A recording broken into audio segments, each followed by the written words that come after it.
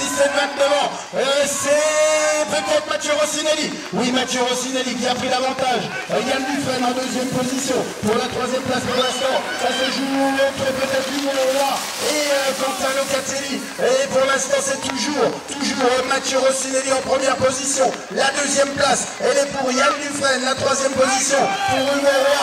Et la quatrième place pour l'instant, ça se joue avec mais la victoire va revenir à Mathieu Rossinelli devant Yann Dufresne et Hugo Roy qui prendra la troisième place devant, il me semble, Jordan et Grenier.